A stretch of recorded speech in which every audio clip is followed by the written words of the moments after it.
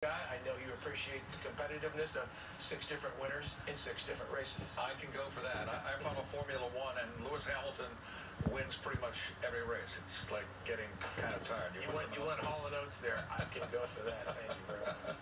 All right, Joe. Thank you. Sure. Coming up next here at 11. Some are even suggesting it might just be in the afternoons, like they may have to Zoom in the mornings and then just go in the afternoons. It's sort of like, what what is the point? Many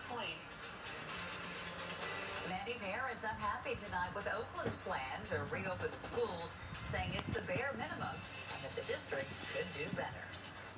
The 11 o'clock news on KTVU Fox 2 starts now. Now, this current plan calls for only some students to return to Oakland schools next week. Hello again, everyone. I'm Heather Holmes, and tonight for Julie. And I'm Frank Somerville. This comes as nearby districts prepare to head back to class with a more aggressive schedule. KTVU's Azenith Smith here now with the latest on school reopenings. Azenith? Well, Frank, Livermore is welcoming back students tomorrow after a year of distance learning. Paris and Oakland say the agreement is progress, but by no means a win.